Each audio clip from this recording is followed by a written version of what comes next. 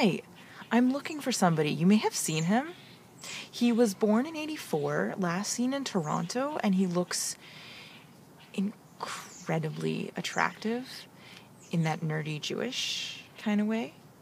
Um, friends describe him as ambitious, creative, passionate, and very Jewish. If you've seen him, he has a killer sense of humor and he's sharp as a tack.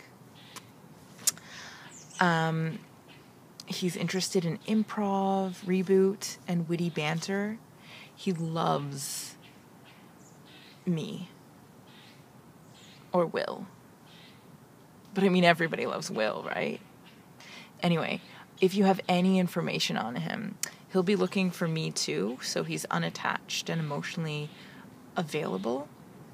If you could please direct him to me at laurentina.me or my Twitter, Queen Laurentina.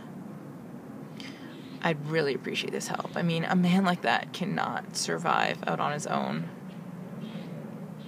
Well, like he can, like for a while, but then he'd get lonely, and he's very in touch with his emotions.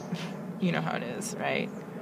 Uh, or if you don't, please share this so that someone else um, can help. I really appreciate your help with the search party. Thank you. Oh, and by the way, he might actually be a woman. Like, I never checked.